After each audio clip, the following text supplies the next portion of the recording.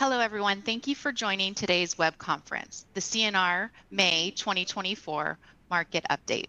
My name is Amber Ortiz, and I am a Senior Vice President and Team Lead here at City National Bank, and will be moderating today's presentation. I'm joined by several key leaders from CNR Investment Strategy, including Chief Investment Officer Charles Luke, Senior Economist and Portfolio Manager Paul Single, and the Head of Fixed Income, Michael Taila. The views and estimates you hear today are sourced from our investment committee's weekly meetings. During today's call, our presenters will explore key themes for markets ahead and the implications for client portfolios in 2024. At the end of the presentation, we will all be on the line to answer any of the questions we receive from you during the webinar. So please do not forget to put in your questions in the console's Q&A window anytime during the session.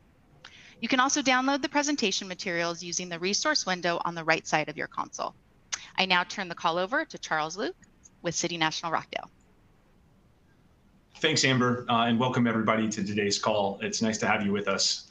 So I wanted to start uh, today and really give you an update on our strategy, so our speedometers, um, and then our outlook. And then we'll move into some big themes we see in the market um, as we move across the board into different segments. So I wanted to start here um, on our speedometer page. Our market outlook essentially has been stable since the last time we were together. Uh, we do believe that the current data is coming in nicely relative to our expectations. Uh, just to note some of our last changes, uh, the last thing that we did do was shift our international international economic outlook up, um, and the market certainly has confirmed that, especially with what we're seeing on some of the global central bank fronts um, as far as the easing cycle is concerned. We also continue to believe in a very strong consumer, um, and so our green dials that go across sentiment, labor, and spending um, are all positive, and we think they should remain there.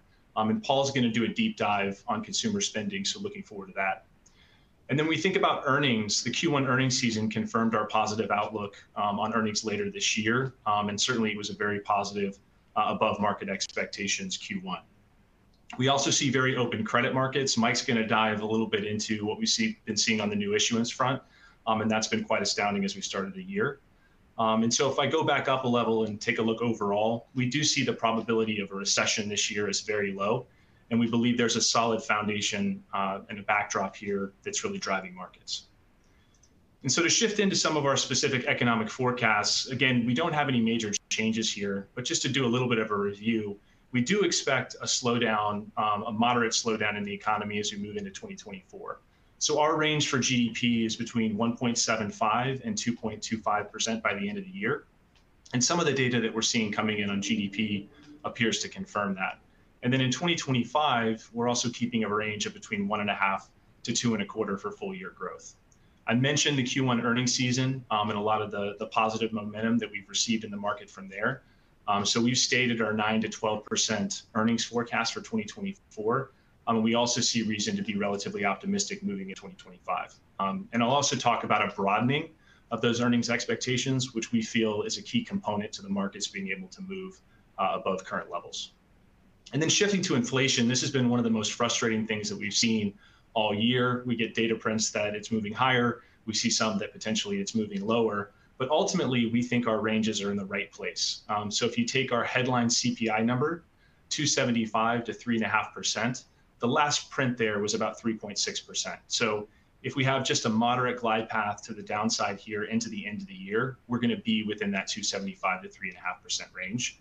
And we see similar data coming in on core CPI. And then the last comment to update everyone is just what we see on Fed funds. So what the Fed is going to do. We have a range of between 475 and five and a half. So we think we could see anywhere from zero to three cuts. The probability has increased that we don't see any cuts this year, uh, but I think the, the willingness from the Fed is there. And so if they get the right data coming in, we think they'll be relatively quick to move, uh, but will not do more than one to two cuts. And then we continue to be in the higher for longer camp with our 10 year Treasury expectations between 4.1 and 4.6, and still staying elevated into next year north of 4%. So as we move into today's today's agenda beyond just our forecasts, um, I wanted to give a quick highlight of all the different segments we're going to touch on. So I'm going to spend some time now talking about um, what we're watching, so some of the major global things, themes from an election standpoint, um, and some of the geopolitical tensions. I also wanted to introduce some concepts around what we think could be long-term implications from the election, Um, and then I'd also like to talk a little bit about global central banks. And from there, we're going to move into Paul's section, talk about the macroeconomic backdrop. He's going to give us an update on the consumer, uh, the state of the labor market, and a little bit on housing. And then we'll hear from Mike in fixed income um, on the attractiveness of yield and some of our recommendation, recommendations there. And then I'll finish this off with the equity side of things. So to jump right into the geopolitical side, um, what I wanted to do was zoom in a little bit here because I know we all hear about big risks out there, especially with respect to global elections. But let's take a look at just what's happening in the next couple of weeks. Um, so I'd like to start with what's happening in Mexico on June 2nd, which is just coming up this Sunday. Um, and so I don't want to get into too much detail, um, but essentially it looks like the front runner for the Mexican presidential election um, is coming in and is part of the existing party, which is called Morena. The key aspect here that we're watching is whether or not they can get a supermajority um, in Congress. And the reason markets are concerned about that is because that could result in widespread constitutional amendments, which could shake the market a little bit. And if we bring that back to the US, what the implications are here is that Mexico did overtake China last year as the lead trading partner for the US under the United States Mexico Canada Agreement. You may have heard this referred to as the USMCA. And so the implications that we're watching and what could be destabilizing is that Mexico remains a key trading partner to the US. And we all know the issues in our own country around immigration policies, which is likely to be a flashpoint coming up in November. So it has been strategically important to us, uh, certainly as a nearshoring option uh, for US companies. And so any election volatility that we see could create unease and threaten the trade agreement um, and create some free flow trading issues. Um, so we're looking very closely at how that election impact could impact the rhetoric we see in November. The second thing that I wanted to mention is what's happening with European Parliament elections. So what will happen here is that between June 6th and 8th, um, EU citizens are going to elect about 720 members for the next EU Parliament, and they stay in place for about five years. So it's critically important in terms of what the balance of power ends up being here, um, especially for key growth prospects across Europe. And what we're concerned about here is that some of the more fringe groups are likely uh, to gain on the centrist majority right now. And that could have implications um, impacting clean energy policy in Europe, as well as the industrial side, and certainly EU defense policies, which is a core concern of ours with respect to Russia and Ukraine. So we don't think the outcome of these elections are going to derail the current agenda, but it is a litmus test for the popularity and support of some of these French candidates. So the implication for us here is as we're thinking through international, international developed market investing, the EU is the next largest developed country market in the world next to the US. And so there are reasons to be optimistic about some European growth prospects right now. Um, but, but we do see the potential for these elections to cause some threats to the Eurobloc, and that could create unease, um, even though the centrists will remain in control. So it is an important factor for us in any decision that we make to invest into European markets. But the most important concept that I wanted to discuss on this page is what's happening with China and Taiwan. So if you've been listening to us for the past couple of months, we certainly acknowledge um, the issues around Russia and Ukraine and Israel and Hamas. But we do believe that what's happening with China and Taiwan and the US China relationships broadly will have the biggest long term impact on, uh, on us moving forward. And so I wanted to mention that last Monday, Taiwan's new president was sworn in, um, and his public address did draw a clear distinction between Taiwan and China, which did upset China, and, and they did view that as threatening. So, in response, China mounted a large scale military exercise around Taiwan, and this was the first of its kind um, in about a year, and it was cited as a direct result of the new president's comments. And so, if we take this situation combined with the Biden administration's extension of Section 301 tariffs. So those are the tariffs that went in place when Trump came into power. And then we consider some of the new tariffs, and we'll talk about that. We really think the starting gun has gone off with what will be a political battle as we move into November. But the key risk here, and I think this is a great illustration of how we think about positioning our portfolios, is that Taiwan is the place where most semiconductor manufacturing takes place. And it has broad sweeping implications again, that serves as a good example of how we think about, risk within our portfolios. And just to kind of give you a lay of the land, the two most important groups um, in Taiwan for semiconductors comes from AI design companies, so that's like NVIDIA, but also capital equipment providers. These provide high-tech machines for a lot of these advanced chip developments. And so, in the event that Taiwan is impacted, we're running scenarios on our exposures and looking at decisions that we can make now to limit the potential market impact um, from what could be um, an extension of, of the conflicts um, and things that we're seeing there. So, we've been moderately reducing our positions to those capital equipment providers and keeping our allocations to the AI theme because we believe that's important and can continue to drive forward. But by reducing those capital equipment exposures, we are taking down our risk and balancing um, any potential fallout from the situation. And so risks like these underscore the importance of a guiding hand in portfolio allocation and the criticality of individual security selection um, as we move forward through these events. So to conclude on this slide, I know I've spent a lot of time here, but it's very important. I want to underscore that the election and geopolitical risk, however uncertain that may be, it does remain a clear focus for us, and we're adjusting our positions to limit the downside risk should we see the worst occur. So moving into some of our election themes, the next concept I'd like to introduce are the three key components that we see as long-term implications from the elections in November. And it's an easy acronym. Um, it's triple T. I'm sure you'll hear us say it a lot over the next couple of months, but it includes tariffs, taxes, and treasuries. So on this page, if we start with tariffs, I did mention the Biden administration's extension of Trump's tariffs against China, but also adding in new Chinese tariffs, which are outlined in the left-hand side. So most notably, we've seen electric vehicle tariffs increase beyond about 100%. And Trump's administration has even proposed a 200% level as a counter. And that effectively neutralizes the threat of Chinese electric vehicles being dumped onto the US market. But on the right-hand side, you can see that the overall economic impact is likely small from these new tariffs. But it is the first tangible step to leverage tariffs as November approaches. So the key isn't necessarily what's happening now, but what might have to happen if either campaign promises additional tariffs. And if we take a look at some of the policy proposals on the table, you can see those on the right-hand side no matter what, it looks like the country is in for an increase in total tariff rates across the board. So in the chart on the left, you can see we're running at about a 2% rate right now. But even if we had the most benign scenario, the easiest policy out there, it would still jump to about 6.3%, which is a near tripling of the tariff rate. Um, and that can be very inflationary. So let's look at some of those potential impacts. They can manifest themselves in a couple of different ways. So the first, and this is in keeping with our calls for rates to say high, increased tariffs certainly don't help us with the inflation issue. So we could see some impacts across consumer prices, real income, and ultimately consumption.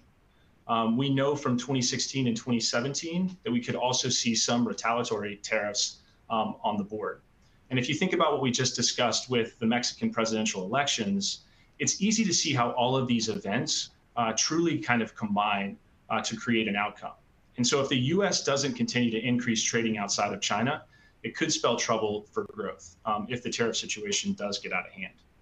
We could also see some indirect impacts, and these could be tighter financial conditions, uh, poor sentiment, and supply chain disruptions. But I do want to underscore that we did see tariffs increase in 2017, and the market did still power ahead. So tariffs alone, in our opinion, um, can't explain potential pullback in growth unless they become completely unreasonable um, and tariffs do collect revenue, which is helpful for deficits, which we're going to talk about. But we are wary of the political aspects for tariffs um, and the potential ex- escalation that could take place as we get closer to November. And so moving on to the second T, um, and this is taxes, this is going to be one of the biggest issues that comes up in 2025, and that's the Tax Cuts and Job Act, or the TCJA. So this represents a massive tax cliff um, as many of these tax breaks will expire without changes from Congress. And the best quote that I've seen on this um, comes comes in like this: It's that the 2025 decision will affect virtually all aspects of the tax code and the vast majority of American taxpayers. So it's a very big deal. And on this slide here, you can see the impact on baseline revenues. So those revenues are in the dark blue. And if the TCJA is extended, you see that it's quite a bit of money, quite a bit of difference as a percentage of GDP. And so proposals from each party are becoming a little bit more clear, but they still aren't fully understood. So for Biden, it appears that there could be higher taxes on the wealthy and corporations, which would pay for extensions and middle class tax breaks for those uh, middle class Americans making less than $400,000. But the corporate implications are a little bit less clear. Trump has also called for sweeping tax cuts that would impact most American corporations, but we don't have any specifics on that other than the support for the tariffs um, and the procedures and policies that he's uh, proposed there. But the cog in the machine for both candidates gets back to sort of the third T, um, but it's going to it's going to be what happens with the deficit and Treasury issuance. So if the TCJA is extended, and you can see on this slide, it means that there'll be an additional $3.2 trillion in deficit spending annually by 2034. Um, and already the amount of US Treasury issuance that we see um, has skyrocketed. So this continued pressure under either candidate is going to have implications for government finances and interest rates. And from a positioning perspective, when we think about fixed income in the muni market, um, this could be an opportune time at these level of interest rates to be investing there. And Mike will talk about that a little bit more. So that's a good segue into the last T, so treasury issuance. Um, so if we bring tariffs and taxes together, this is really where we end up. And so what you can see on this page is that we are expecting an annual increase in treasury issuance um, that will expand by about $1 trillion by 2029. And most of that increase is coming from notes and bonds, the only thing to understand there is that's all of the issuance that's beyond one year.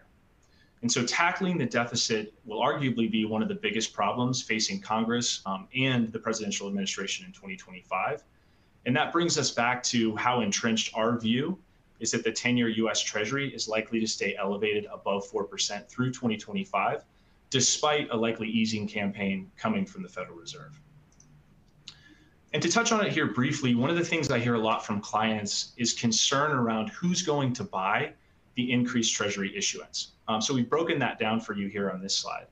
Um, in the current news, it's been indicated that China has reduced their holdings of Treasury debt, and they've been using those proceeds to diversify away from US dollars. And that's one of the reasons that we saw gold spike substantially toward the end of Q1. But US domestic buyers, you can see that in the yellow, have picked up the slack based upon the amount of money and capital um, in the market. And so, as a share of outstanding debt, if you look at the right hand side, domestic holders have gone from about 30% to about 48%, while foreign holders have dropped their holdings from a peak of nearly 60% to just 33% of the total. And because US domestic investors, in our opinion, and these could be mutual funds, banks, and households, because they're more price sensitive, we do believe that rate volatility is here to stay, and it will present tactical portfolio opportunities for the rest of 2024 and as we move into 2025.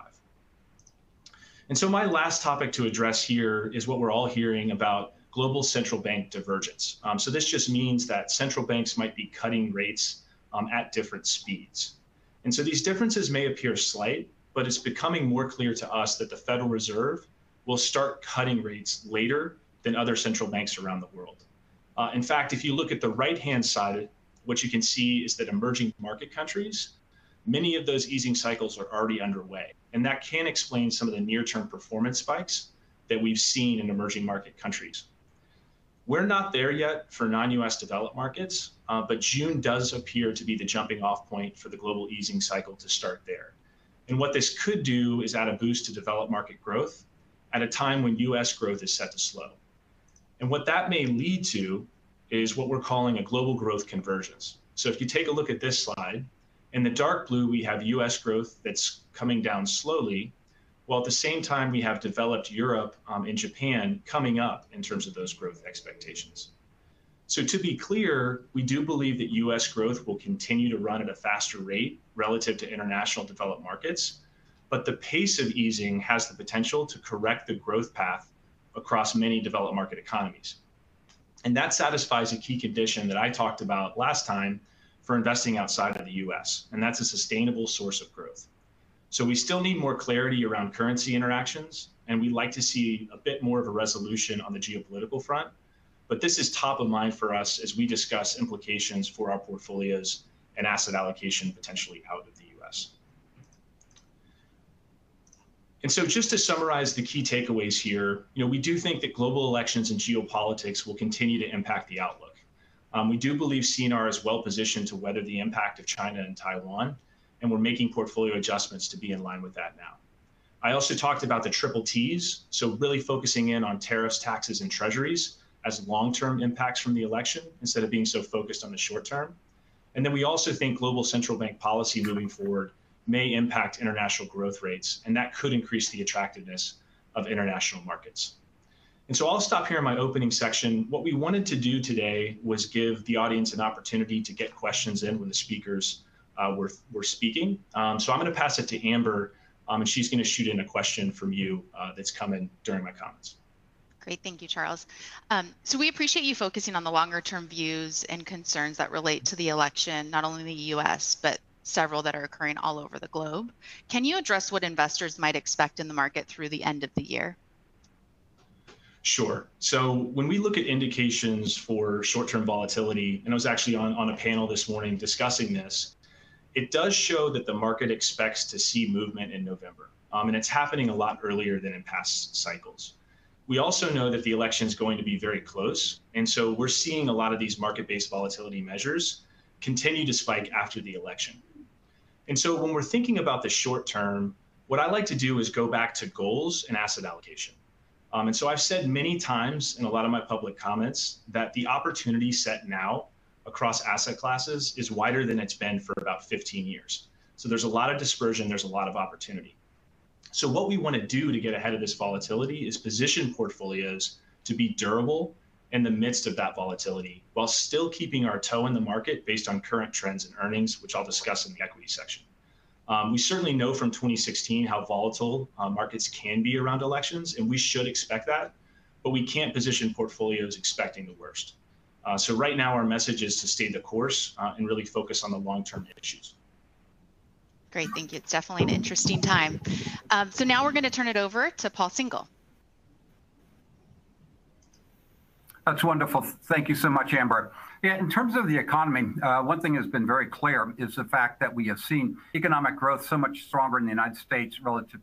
Uh, last month we talked about that, where growth was uh, close to nine percent since the recession ended in the United States, and the rest of the world was less than half that. Uh, these charts here just focus on where that growth is coming from.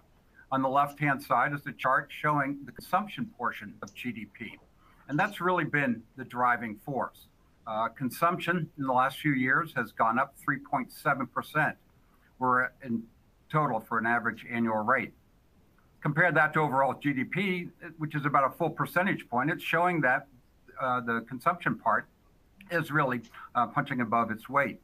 But the chart on the left-hand side just shows how consumption has changed uh, since the end of the recession. And it compares that to the past five recessions. The light blue dash line is the average and the gray area is the range. So you can see that uh, consumer spending has been that driving force that we talked about. But the thing is, is that we expect that pace to slow down. Uh, one, wage gains are not as strong as they've been in the past, plus the amount of people being hired is not as strong as what we've seen. Furthermore, uh, savings have been depleted to some extent, but more importantly, what we're seeing is a maturing of the business cycle, in which case people don't spend as much money as they had in the past. I mean, it was rip roaring in terms of the pace of uh, spending that we saw over the last few years. And we've seen this back in the past in history. Following the end of World War II, when 12 million troops were returning and the rationing was over, uh, people spent an awful lot of money celebrating what life was like and having a return of normalcy, much like what we saw after the pandemic. Back then, after World War II, inflation shot up, but then came down relatively quickly. And then the few years that followed, people just got back to a normal life. And that's what we expect to see going forward. On the right hand side, we're taking a look at personal income and spending. This is monthly data that's by the same people that calculate uh, GDP, and we adjust it for inflation, just like the GDP numbers are. But you can see the light blue line, which is spending, that's continued on the same sort of trajectory it was on before the pandemic but the pace of income has fallen. Uh, people continue to spend more and keep that pace going, the light blue line, but the dark blue line is very different. As a result, we expect to see that return to a much more normal relationship compared to what we've had in the past. So that's why uh, expectations for GDP growth this year is a little bit slower than what it was in the past few years. In terms of how people are spending their money, uh, the shaded area here is overall spending, and you can see how it has changed um, since 2021. And we chose this as the start date because 2020 was extremely volatile with the massive layoffs and the rehiring. This was more of a normal period. But you can see how people had spent their money. Uh, the gray area, which is services, is the major portion of spending. It's 65% of overall spending. But if you look over on the right hand side, that's starting to plateau out. Dark blue line is durable goods. And you can see that's a little bit below what the peak was a year ago. And that probably has an awful lot to do with the fact that financing costs are so high. The light blue line is non durable goods, and that continues on pretty much a stable trajectory because that's just not influenced by changes in the business cycle as much. But in terms of people being able to pay for all of their spending, it's worked out quite well. Uh, in terms of household leverage, there are a number of measurements that are used to determine this. The chart on the left shows overall debt load uh, for a household. And you can see that it's above the long term average, but it's below what we've been seeing for the last 20 years or so. Plus, keep in mind that this chart goes back to the 1950s. Debt wasn't as big of a part of people's lifestyle as it is now. I mean, credit cards really didn't become popular until the 1980s. But the more important number is the one on the right hand side. And this is the obligation of what people have to pay each month. The chart on the left would be the size of the overall mortgage. The chart on the right would be what that monthly mortgage payment is. And you can see that this number is near historic low levels. So as a result, the financial basis for many people's spending continues to be solid, even though we expect the growth to slow in coming months. Another reason for that is that we're seeing moderation in labor gains. And this is a really important factor. And it's very special to the Fed because what they're trying to do by raising interest rates is slow down the pace of hiring because that strong pace of hiring caused wages to move up, which caused inflation to move up. But you can see on the chart here on the left-hand side, the columns are the monthly change, which tends to be volatile. So the dark blue line that you see is the six-month moving average. The dash line is what it averaged for the five years before the pandemic, something that's relatively normal. And you can see that we're returning to that sort of level. So the, the supply and demand of workers comes closer, and as a result, inflationary pressures won't be nearly as strong. And that is supported by other data that we see. Most notable is the fact that the amount of job openings is diminished significantly from the peak of about two years ago when the Fed started to raise interest rates. Both public data, the JOLTS data, which comes from the Bureau of Labor Statistics, along with private data from Indeed, are showing the same thing. The amount of job openings has been slowing compared to what we've seen in the past few years. But more importantly, the amount of job switchers is dropped significantly. This is really important. These are people that move from one job to another job, mainly because they can get paid an awful lot more. And we saw that with the reopening of the economy. And that's what helped push wages up back then. But the amount of people switching jobs has stabilized and is back to levels that we saw before the pandemic. And that's helping to reduce the pressure on wages, which you can see on the right hand side, where we're looking at the three most popular measurements of wages and you can see that it's returning towards that level that the Fed would like to see that they view as consistent with 2% inflation. In terms of inflation, um, it's moderating from the very high levels, but the thing is, is, is it moderating at a level uh, that's still too high for the Fed. In this case, the dark black line that you see here is CPI, which is at 3.4 percent a little bit below what the core CPI number of 3.6%. But in terms of what's causing that inflation, you can see it's focused heavily in two areas. The dark blue is shelter costs, what CPI calls housing, and the light blue is auto insurance. Both of these are contributing the majority of inflation. If it weren't for those two components, inflation would just be seven tenths of a percent. But we do have those components, and that's why uh, it's important to understand what's going on. In terms of looking at shelter costs first, uh, the columns here are the monthly change. The light blue line is the three month change annualized to give us the recent trend. And of course, the dark blue is the year over year number. And the year over year number, the three month change is still too high, between 5 to 5.5%. And that's because the monthly change, you can see um, using the right index, has been coming in around four tenths of a percent And four tenths of a percent, you know, annualized, you're talking close to 5%. It's still a high number. Look at what it was before the pandemic. You can see it was a much lower rate of around 3 to 3.5% or so. Uh, the thing is, is the Fed's raising interest rates has slowed down the demand for homes and people moving, and that has brought down inflation significantly. But we have a strong economy going on at the same time. And as a result, the demand is still there, and that's what's keeping the pressure. But it is moving in the right direction. Um, as many Fed policymakers have said, it's just a slow moving uh, move towards that 2% goal. In terms of how um, the shelter inflation is calculated, it's based heavily on what it costs to rent uh, a property um, because owning a property is different. There's an investment um, part, and that component can be very powerful. So they try to subtract it out and they look at rentals. The way we can look at rentals is just taking a look at some of the survey data. And you can see that on the left hand side, the year over year change. You can see the explosion and the growth in the cost uh, increase in rentals. And that's mainly people moving away from uh, expensive cities to other cities. And that pushed up the price because of the limited supply. The year over year change has moderated significantly. And the dark blue line is how CPI calculates the shelter costs. And you can see that's starting to come down. But the thing is, it's not coming down as fast a pace, mainly because it hasn't caught up with the increases of the past. And you can see that in the data here on the right hand side. It's the exact same data presented differently. In this case, we've indexed it since the right before uh, the recession started. And you can see the light blue line is the market levels, and the dark blue line is the CPI. It's still catching up. So this is telling us that it will be a slow pace to get back to gains of just around 2% or so.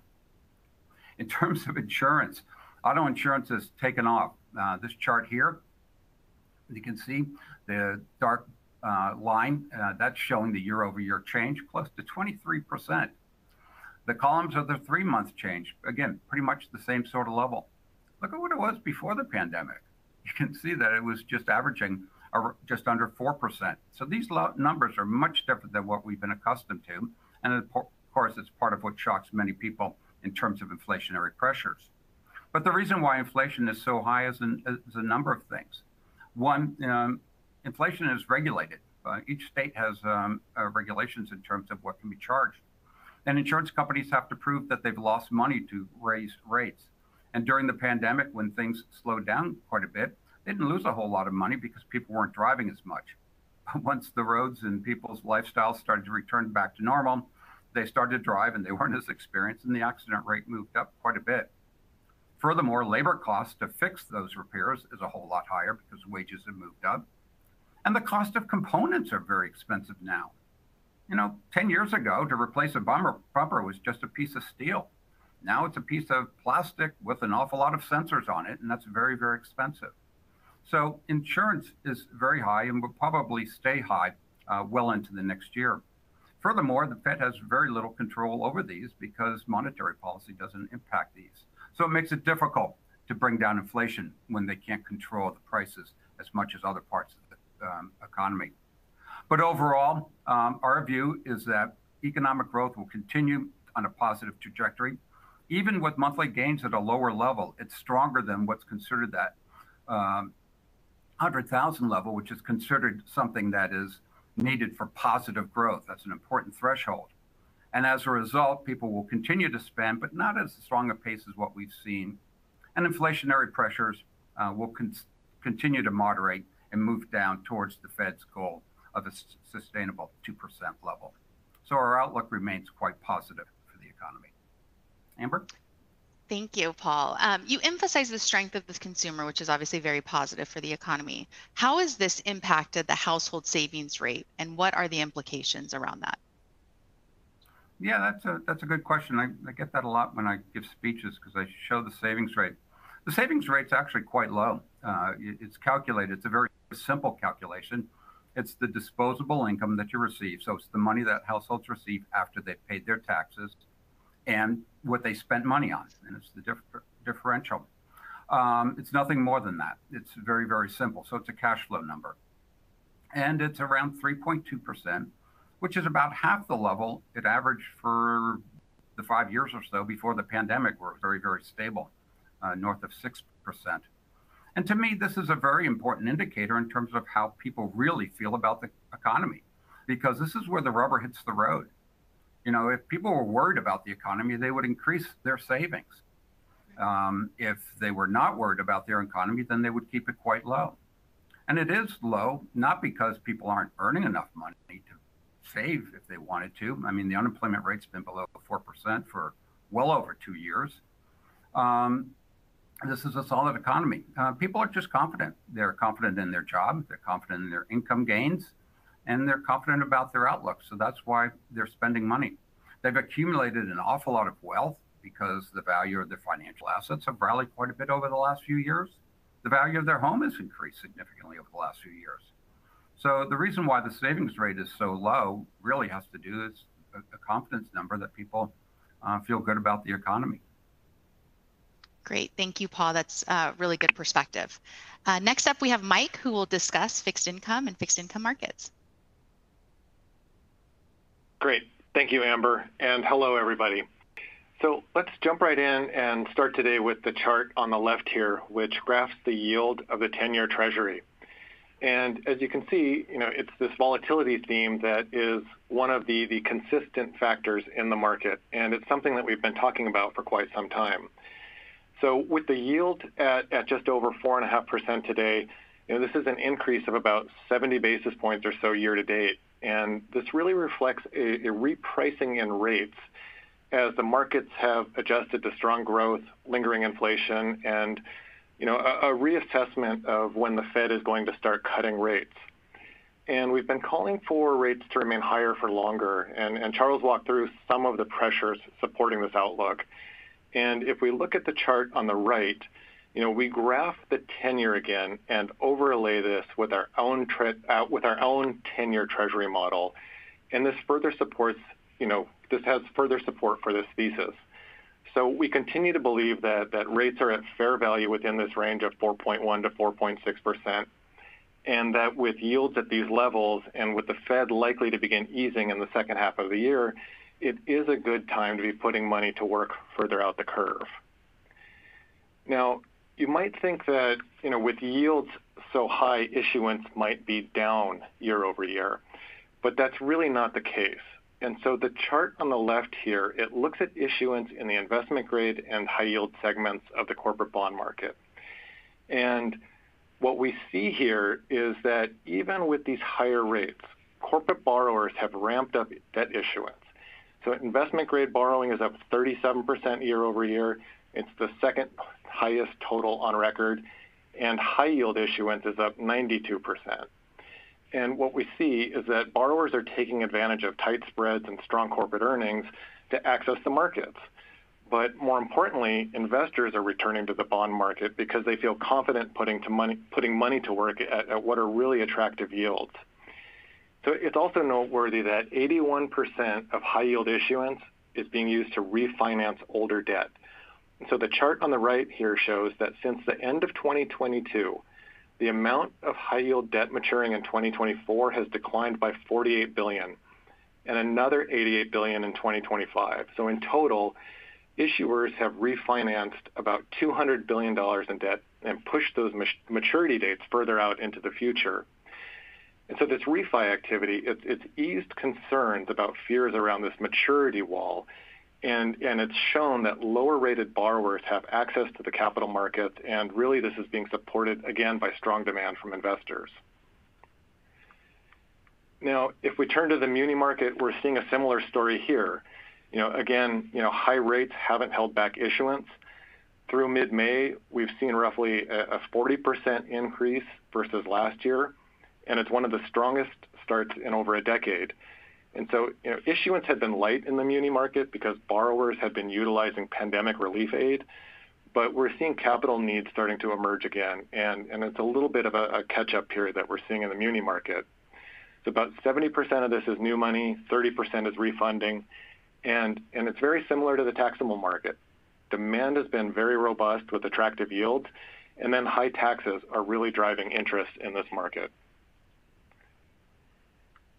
And so the question now turns to, you know, how has this supply impacted valuations?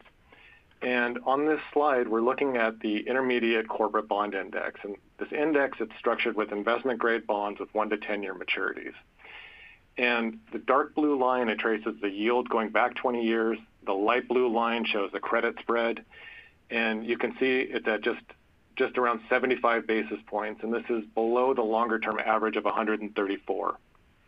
So what's important here is that while valuations might seem rich on a spread basis, if we look back historically, say to the 2004, 2007 period, for example, you can see that tight spreads, they can stay in this range for some time. And, and again, it's about the current environment of strong growth, moderating inflation. This is going to help keep balance sheets strong. And once again, with absolute yield high, you know, market demand can continue to support these valuations. And then on this next slide, we'll pivot and, take a look at the muni market. You know, here we're comparing the yield on, again, it's on the intermediate corporate index to three similarly structured municipal bond indices. And the first bar here is the general market index. And we would consider this applicable for investors that are in a state with no taxes, like Nevada or Texas. And then we have this followed by New York and California, where, where state tax rates are high. And so the dark blue shows the municipal yield for each. And while these yields are lower than the corporate index, if, for example, we adjust that general market muni yield to account for a, a maximum federal tax bracket, this translates to a taxable equivalent yield of 6%.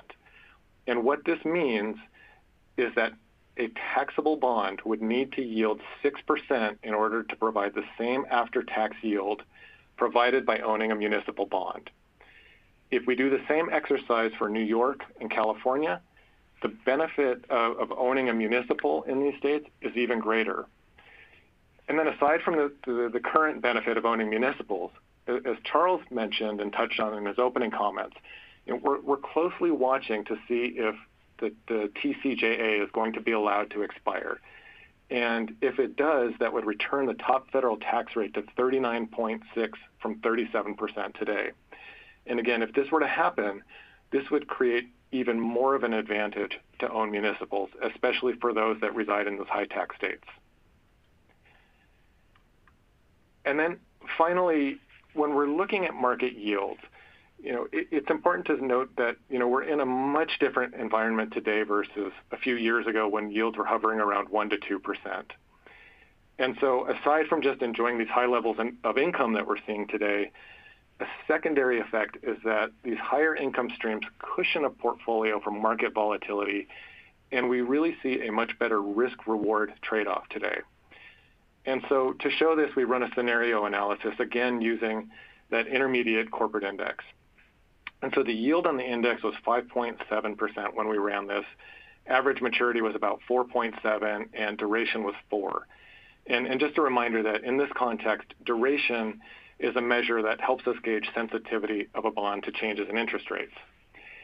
And so if we look at scenario one and, and we assume that yields don't change over the next 12 months, an investor is going to earn their yield and your total return will be about 5.6%.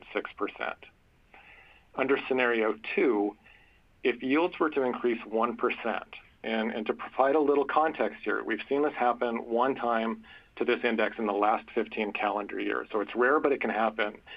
You'll see a negative price return, but income now compensates you for this loss, and you end up with a positive return of 2.3%.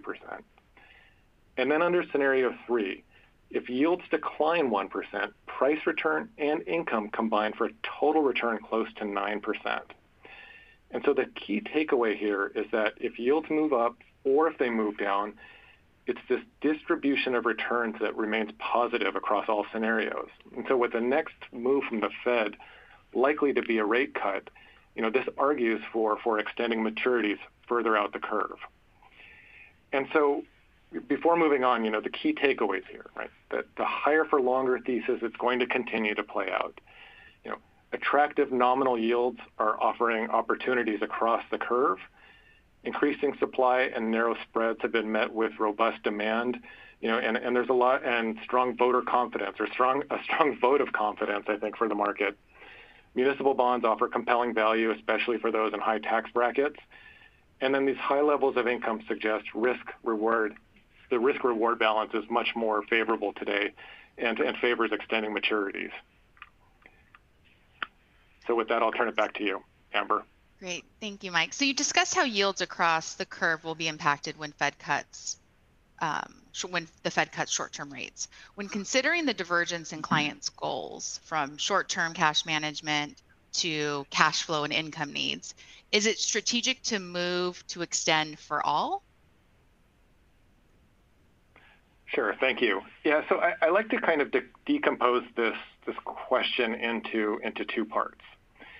And so the first part is is really for clients with liquidity needs. So whether they need liquidity in one month, six months, or, even out one or two years, you know, there are really good opportunities in the market to keep money, you know, active on the front end of the curve. So short-term T-bills, they're yielding, you know, around 540. You know, and the two-year Treasury is around 5%. You can pick up a little spread if you go into the corporate market. And then we're even seeing attractive opportunities in short munis again with, with one to two year paper earning, you know, north of three and a quarter percent. So it, it's, you know, it, it's still a good time for those those short duration type portfolios with liquidity needs. You know, and there's really no need to to stretch out the curve for income.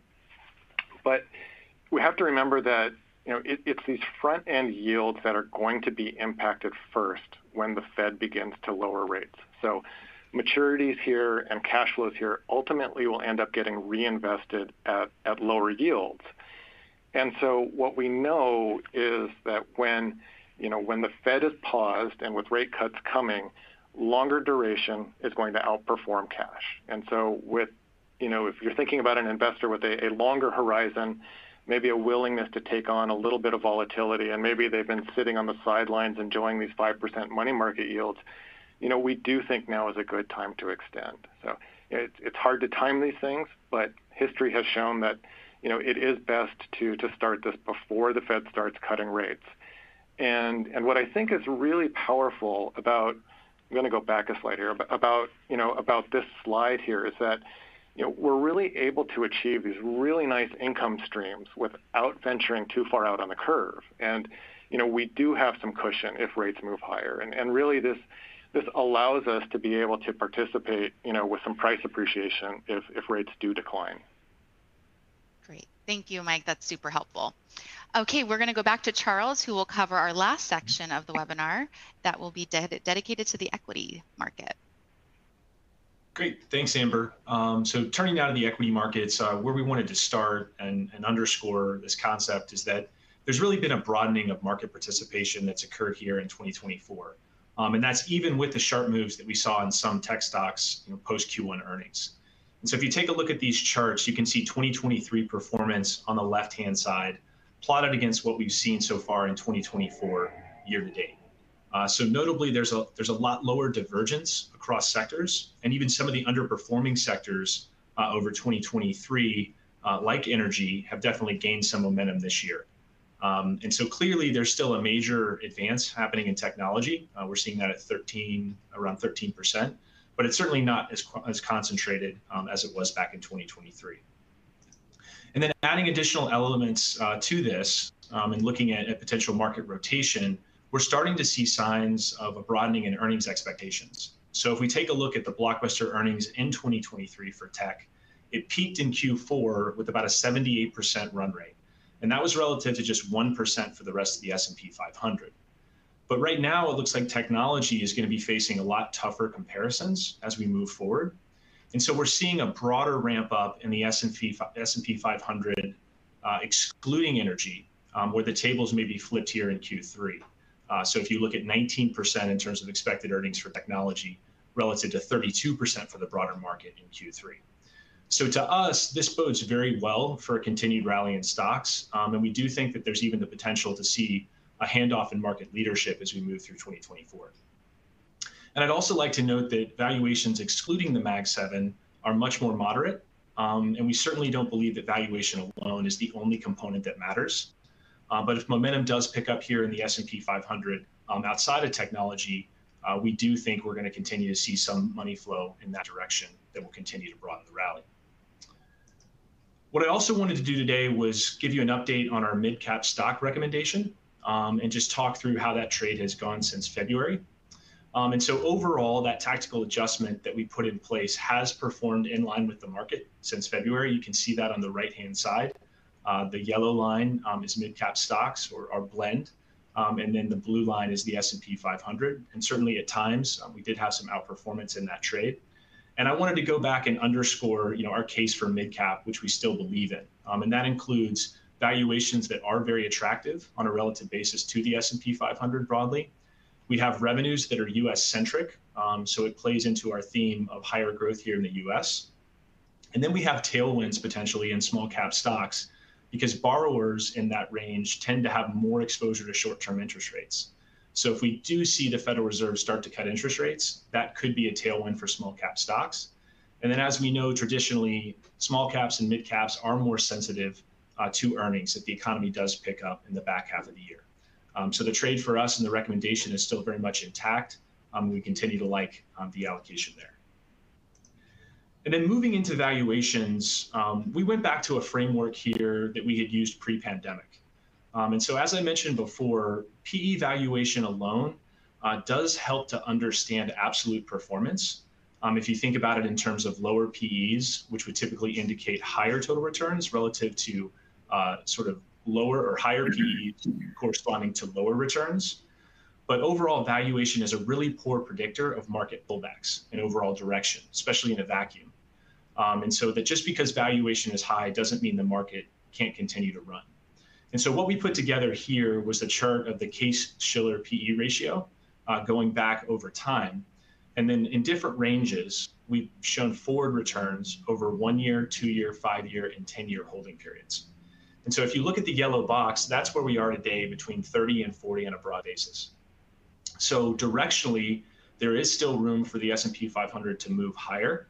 Um, I will note that at an 11% advance so far this year, um, if we take it back to what we talked about with elections, this is the best performance that we've seen um, in a year for election year uh, so far over history at 11%. So we do think that there's some potential here based on the foundation and a lot of what we talked about for the rally to continue. So ultimately, the market isn't cheap, but we just want to stress that valuation is only one data point. Um, and we don't think that it's telling the full story right now, especially if you take a look at the dispersion between technology and the rest of the S&P 500. And so the last comment that I wanted to make is on our CNR core equity positioning. Um, so taking a look at areas where we're overweight, so we own more of those stocks than the index, and then looking at areas where we're underweight. Um, so if you think about our financials, which is over on the left-hand side and the position that we have there, it might surprise you. What that's actually showing in terms of that overweight um, is that there was a reclassification um, of some digital payment system companies from technology into financials. Um, and we still very much like the story around digital payments, and we do continue to think that those companies will do well. So we've maintained that exposure and that position there in the strategy. If you think about our industrial positions, you know, our view is that industrial infrastructure investments and energy investments are going to spark overall industrial activity, especially as we see uh, supply chains and local sourcing really becoming something um, that's going to be a long-term trend and reduce operational risk for corporations. And then if we move to our underweight, so areas where we don't own as much exposure relative to the broad index, you can see that on the far right-hand side here. We are underweight the tech sector broadly, but we do have a 1.7% overweight to semiconductor companies. So going back to the comments Uh, with the geopolitical in China, Taiwan, right? we have exposure to the AI design companies and those uh, um, capital uh, manufacturing companies. Um, and so it is diversified across those areas where we think the market is really being driven by AI and technology. Um, so exposure there, even though we're underweight the entire technology sector. And then from a real estate perspective and materials, we think there's a lot of interest rate exposure to real estate that can cause a lot of volatility. And that's not where we want to take on interest rate volatility inside of our equity strategies. And then from a materials perspective, there's certainly a lot of commodity exposure there, which can be extremely volatile, especially as we enter the summer period. um, and we don't want to have that high volatility um, inside of the equity portfolio being generated there. So I'm going to pass it back to Amber and answer one more question, and I think we might have time for one or two questions more broadly. Great, thanks, Charles. So while historic and traditional equity valuation metrics remain relevant, we can all agree that the landscape is evolving and adapting. Are we facing a fundamental shift in how we measure the under or over value of a market, a sector, or a stock? Yeah, that, that's an exceptional question. Um, and, I, and I start here. You know, it's, it's really not easy to catch shifts in the market. Um, and for valuation to, to really matter, the market does need a catalyst. So if we think about another way to say that, valuation gaps can exist for a very long period of time. Um, and secular changes can create these value traps. Um, and we've seen evidence of extended valuation differences across markets that can persist or even widen over time. So if I had to pinpoint a change um, or add in some additional metrics to what we need to consider, it is coming from the rapid development of technology. So if you think about corporate business models and how they've changed, they shifted their investment priorities from hard assets, so property, plant, and equipment, to intangible ones. Um, and so in many cases, the technology breakthroughs have significantly impacted existing businesses um, and sort of disintermediated um, some of those hard asset businesses. So I do think it's fair to say um, that a company with huge earnings potential may appear expensive just because the upfront investment in technology is so costly. But if you look at the back end growth ramp, it's enormous. Um, and if you attempt to kind of exclude these technology investments um, or the intangibles, it, it, excludes the best part of a company. So it's not really valid for looking at cash flow um, and other earnings components. So ultimately, we step back. The most watched part of a company now is its growth rate. Um, and so if you can if you can prove that that's increasing quickly, um, it's always going to lead to a higher valuation. Um, and it's just in this market that market technology is really separating the rapid growth companies from stable growth. Um, and rapid growth right now is winning. Thanks, Charles. So we have a few minutes left to ask a couple questions. Thank you to all the participants that have submitted them during the webinar. Um, so Paul, I'm going to ask you the first question. Can you dive into the consumer spending by income level and have we seen any divergence there? Um, yeah, there is some data uh, that's out uh, that the government has. It tends to be dated. Uh, I think the most recent is 2022, but it breaks it into quintiles in terms of how people have spent the, the, the money over the last few years. Since the pandemic um, ended, uh, the bottom two quintiles have had a bigger increase in spending than the top two quintiles. And they don't, they look at the top two, not just one and the bottom two and not just one because the extremes of, of either end. But it's interesting to see that. Uh, but it also makes sense um, in terms of income to the bottom two quartiles, quintiles, excuse me. Um, we, we, they tended to get uh, stimulus checks. They also tended to get other benefits that were uh, from the federal government and state governments to help support income. And when they get the income um, and they spend it, it tends to be a bigger change in the quality of life than you would see at the other end of the income stream. So it's pretty consistent with uh, what people would think. Uh, they've been able to spend more money um, and also um, benefiting from uh, the, the increases in the government. Plus, the wages moved up much more than at the higher end of the income stream. Great, thank you. Okay, Charles, you're going to bring us home with one additional question. It seems that the uh, US equity market is somewhat shrugged off global elections. Do you see this changing at all? And again, you kind of mentioned our allocation um, and perspective on the global markets, but do you see it changing in the near future? Yeah, so I, I would agree, Amber. I, I, do think that the market has generally shrugged off a lot of the potential impacts um, that are really unknowns out there in the market. Um, and if you compare that with the fact that we had a big adjustment uh, to what the Fed could potentially do as far as interest rate cuts, it does seem like the market could be a little vulnerable here, but it hasn't priced that in.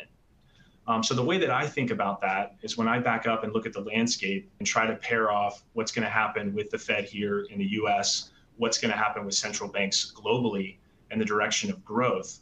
The question is, is when I get a pullback and some of those issues maybe show themselves or start to be discounted closer into November, then I have a major opportunity to reposition my portfolio because I know we have solid underlying credit fundamentals and we have great earnings trajectory. Um, so I sort of view a lot of these risks um, that they're certainly being discussed. We have our clients that are talking about them that are wanting to know what the potential impact can be, but we haven't had a lot of adjustment. But going back to those fundamentals, I think will give us a really nice opportunity to increase some of that risk exposure um, if we do see a little bit of a pullback. Great. Okay, thank you all for joining us. A brief survey will pop up shortly in your console, so please share your feedback and suggestions for future topics. A replay of the session will be available within 24 hours, and you will receive an email letting you know how to access it. Uh, from all of us, we wish you a wonderful day. Thank you.